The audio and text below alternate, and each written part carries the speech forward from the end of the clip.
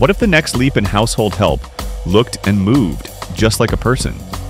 The Figure 03 humanoid robot is answering that question.